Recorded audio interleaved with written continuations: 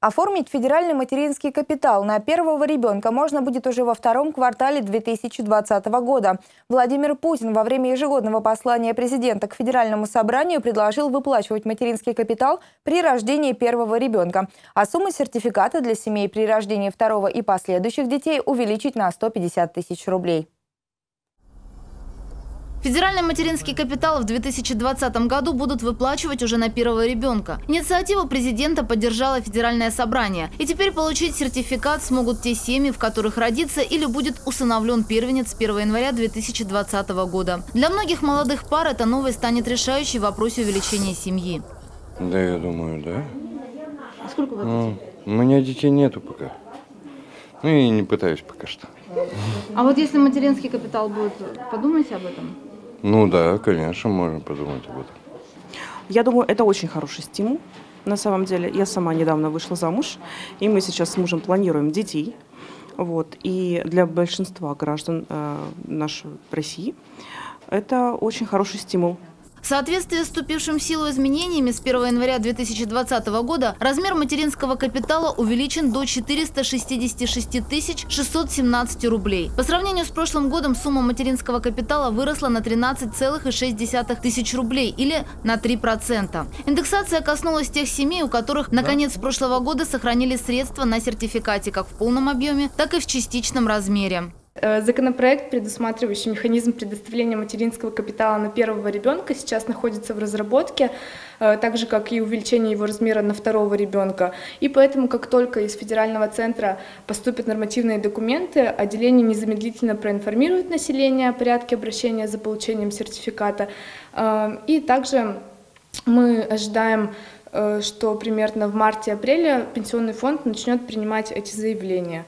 Э, как только Госдума примет решение об изменениях в закон о материнском капитале.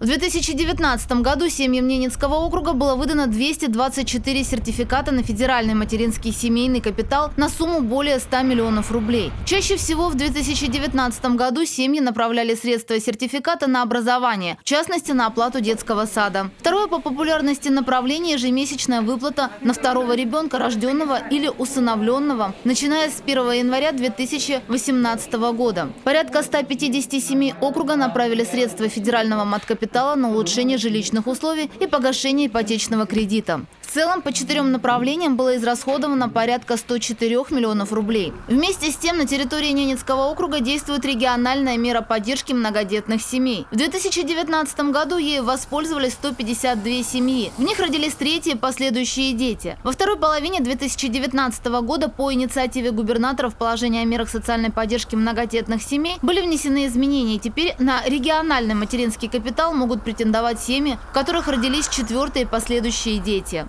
Те изменения, которые были э, предложены губернатором и поддержаны собранием депутатов, э, на сегодняшний момент э, материнским окружным капиталом могут использоваться и на третьего ребенка, и на четвертого, и на пятого, и последующие. То есть нет однократности, которая была раньше. Это первые изменения, которые произошли. Вторые изменения 2020 года у нас практически отменена вся перестановка, и нормы, принятые ранее, которые говорили о направлении использования материнского капитала, на сегодняшний день действуют в полном объеме. Одно из самых популярных направлений использования регионального материнского капитала – единовременная выплата в размере 30 тысяч рублей на разные цели. Второе по популярности – приобретение товаров длительного пользования, а также в тройке лидеров приобретения транспортных средств. Все эти изменения как раз направлены на повышение демографии. Э, изначально, когда эти меры были приняты и на федеральном уровне, федеральный материнский капитал, и когда мы принимали окружной, хотелось бы отметить, что на сегодняшний день, и как изначально он был принят, он самый практически большой во всех субъектах Российской Федерации по сумме, которая выплачивается, они как раз повлияли, и у нас был рост рождений третьих, четвертых детей. На сегодняшний день есть тенденция за последние три года сокращения первых родов, и по поручению губернатора мы готовим сейчас изменения также в окружной закон о материнском капитале с целью установления выплаты по материнскому капиталу на первого ребенка. Кроме того, в 2020 году ежегодная индексация коснулась регионального материнского капитала. Его сумма теперь составляет 379 911 рублей. Ольга Русул, Антон Водряков, Владислав Ткачев, телеканал «Север».